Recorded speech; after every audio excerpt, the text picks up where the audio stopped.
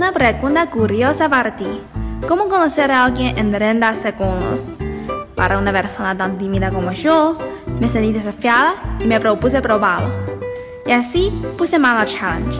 Puse el cronómetro y...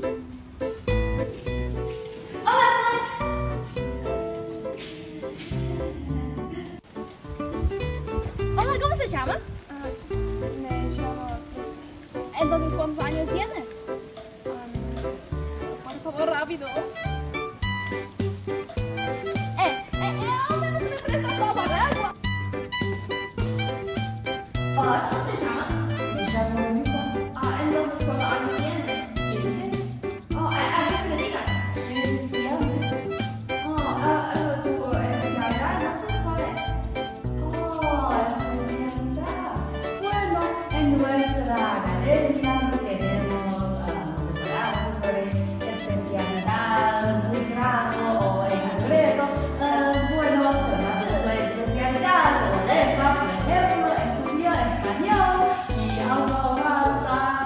Obviamente, la información que podemos sacar en 30 segundos de una persona que no conocimos es muy finito. Pero hoy, gracias a las redes sociales, creo que ahora tenemos una manera totalmente distinta para conocer a una persona.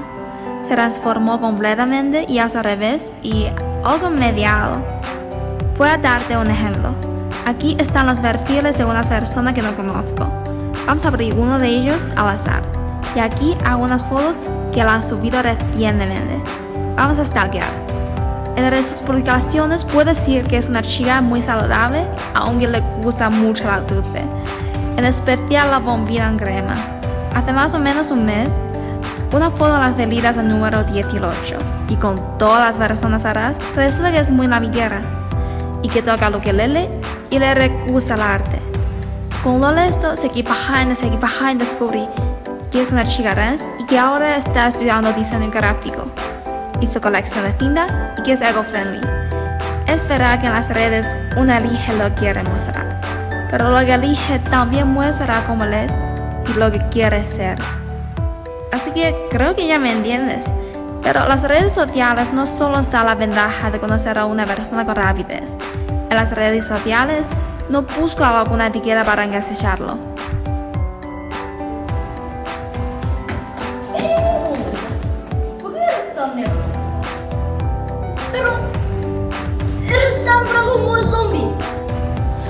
Vida real juzgamos por lo que vemos, como los Estados Unidos a los negros y a los chinos. Pero en las redes sociales busco detalles para conocer a alguien pero sin juzgar. Un ejemplo es como con la chica que me encontré en Naverfe. No la juzgué por ser. Y eso no va a ser una barrera entre nosotros para que yo quiera conocerla o para que ella elija mostrar su realidad. Segundo, las redes sociales me ayudan a cuestionarme qué es lo que yo le estoy viendo al mundo. Por ejemplo, la chica que la Verfield demostró la foto en la que estaba cultivando árboles. Eso me lleva a pensar en lo que estoy haciendo para cuidar al planeta, si en realidad quiero cuidarlo y si es así, cómo voy a hacerlo. Así que ya tenemos esa conclusión. Podemos decir que gracias a las redes sociales, nuestra conducta confió en la vida real. Para conocer a la persona, segundo todo sin juzgar. Y lo más importante de todo, sin importa que está en las redes o en la vida real. Si quieres llegar a conocer a alguien que no conoces, no busca etiqueta para engancharlo.